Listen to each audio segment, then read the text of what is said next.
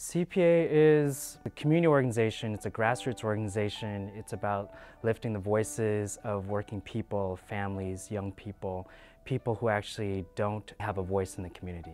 We work on cases closely with CPA and they provide um, support in the non-legal components of the case.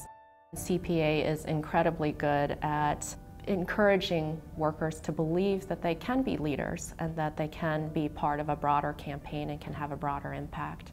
We need to work with all different organizations, from service organizations to labor unions to legal institutions, so that people in the community feel fully supported.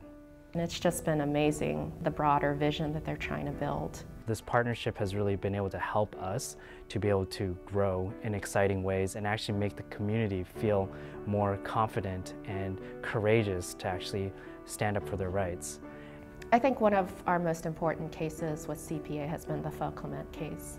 Workers at a two-restaurant chain here in San Francisco were not being paid overtime or minimum wages, not getting meal breaks, and other workplace violations. One of the workers had gone to CPA to seek assistance and help, and CPA really worked with that worker to build him as a leader and he ultimately went and organized other workers in the restaurant to come forward. We filed claims on behalf of eight of those workers and worked with the state enforcement agency to then get relief for all the workers in the restaurant, including those who were too scared to come forward.